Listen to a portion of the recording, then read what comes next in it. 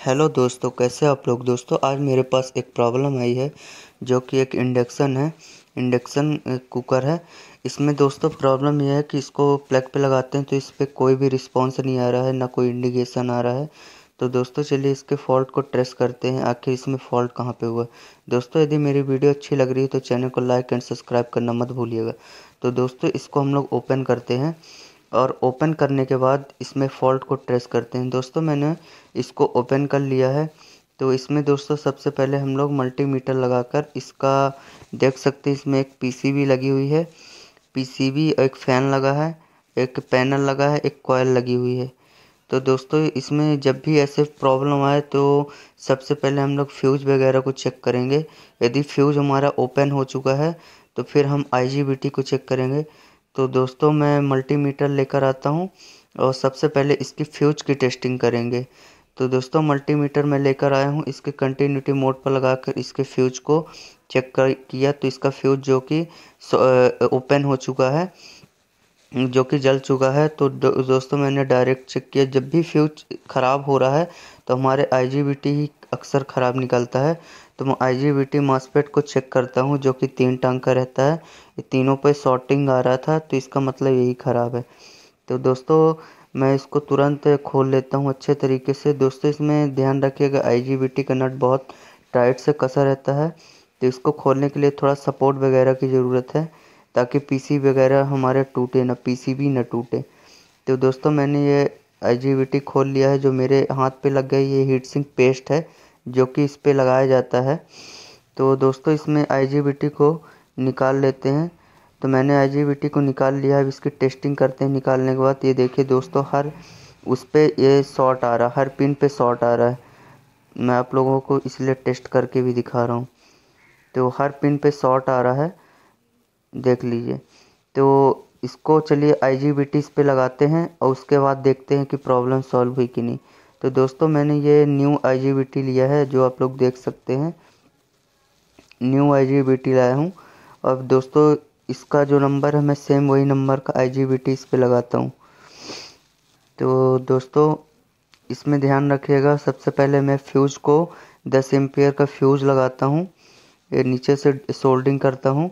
क्योंकि IGBT लगा, के कारण वो ख़राब हो चुका था तो फ्यूज़ को सोल्ड करके मैं इसको चालू करता हूँ कि बीप का साउंड आ रहा है कि नहीं। तो दोस्तों, मैंने फ्यूज़ लगाकर चालू किया तो इसमें बीप का साउंड आ रहा था। बीप का साउंड आ रहा था तो इसका मतलब हमारा पीसीबी अभी सही है। उसके आईसी सेक्शन में कोई फॉल्ट नहीं है, लेकिन आईजीबीटी लगने के बाद यदि अच्छी हीटिंग वगैरह सब कुछ सही रहेगा तो हमारा पीसीबी का आईसी सेक्शन सही है। तो दोस्तों, चलिए मैं इसका डिस्प्ले भी दिखा रहा हूँ। ये देखिए डिस्प्ले भी आने लगा। क्योंकि IGBT शॉर्ट था, जिसकी वजह से फ्यूज़ उड़ा था, मैंने फ्यूज़ लगा के चेक किया तो इसका डिस्प्ले भी आ रहा है। तो दोस्तों, अब हम सेम नंबर का IGBT लाता हूँ, ये जो मैं लेके आया हूँ, देख सकते हैं आप लोग।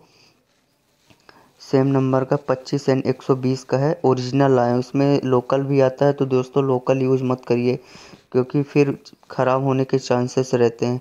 तो पार्ट्स कभी भी कोई भी चेंज करिए तो ओरिजिनल लगाने की कोशिश करिए, क्योंकि इससे आप ही को सही लगेगा क्योंकि कस्टमर भी यही सोचेगा कि उसने अच्छा काम करके दिया।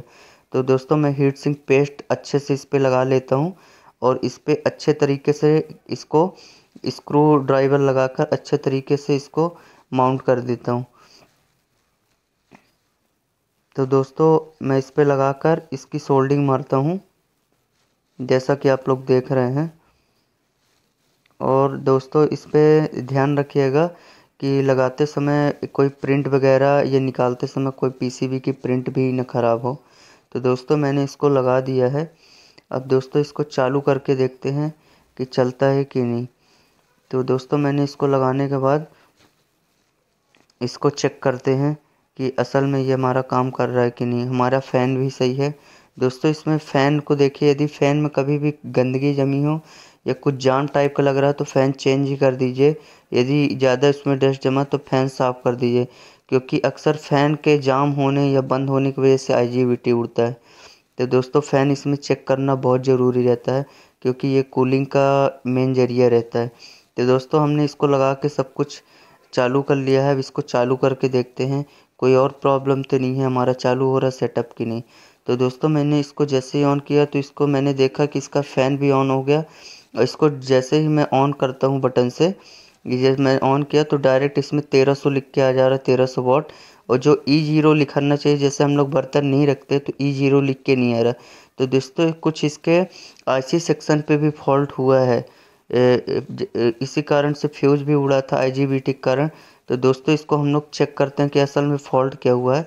तो दोस्तों यहाँ पर एक ट्रेंडिस्टर लगा रहता है, सेवन एट ज़ीरो फाइव का। और ये जहाँ पर मैं खोल रहा हूँ पिंस लगी हैं। और एक ट्रेंडिस्टर लगा रहता है अस्सी पचास का। तो दोस्तों यही दो ट्रेंडिस्टर में कोई ना कोई शॉर्ट हो गया होगा, इस वजह से हमारा ये प्रॉब्लम हो रहा है। तो दोस्तों ये इसको टेस्ट कर लेते हैं हमारा यह ट्रेंडिस्टर सही है, जो मैं चेक कर रहा हूँ। इसकी कंटिन्यूटी अच्छी आ रही है मतलब जैसे ट्रांजिस्टर की कंटिन्यूटी आती है, वो सही है। तो दोस्तों, इसमें एक ट्रांजिस्टर मेरा ख़राब निकला है तो उसको मैं चेंज करके देखता हूँ। तो दोस्तों, मैं इसको सोल्डिंग आयरन के अच्छे से इसको निकाल कर और दूसरा लगा के देखता हूँ कि मेरी प्रॉब्लम सॉल्व हुई कि नहीं। तो दोस्तों, मैंने ये ट्रांजिस्टर निकाल लिया। सेम नंबर का मैं न्यू लाता हूँ और लगा कर आप लोगों को दिखाता हूँ। मैंने लगा लिया, इसमें सोल्डिंग मान लेते हैं।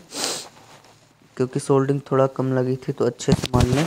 अब इसको दोस्तों फिर से चालू करके देखते हैं कि मेरी प्रॉब्लम सॉल्व हुई कि नहीं। तो दोस्तों मैंने इसको लगा दिया है। इसका पहले ऐसे ही देखते हैं कि ई ज़ीरो लिख के आ रहा कि नहीं। तो दोस्तों मेरी प्रॉब्लम सॉल्व हो गई, आप लोग देख सकते हैं।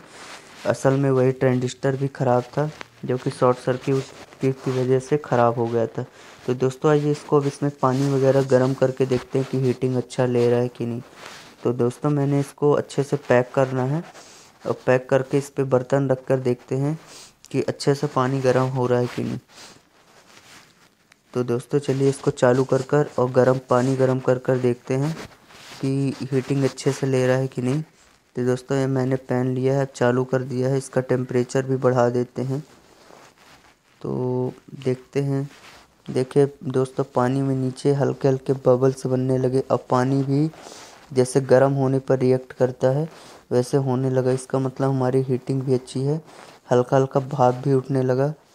तो इसका मतलब हमारा इंडक्शन बहुत ही अच्छी तरीके से वर्क कर रहा है। बबल्स भी बन रहे हैं। अच्छी हीटिंग है मतलब तुरंत ही गर्म हो गया। तो दोस्तों, यदि यह जानकारी आप लोगों को अच्छी लगी हो तो प्लीज़ मेरे चैनल को लाइक एंड सब्सक्राइब करना मत भूलिएगा। दोस्तों, इसी तरह बने रहिए टेक्निकल पटेल जी चैनल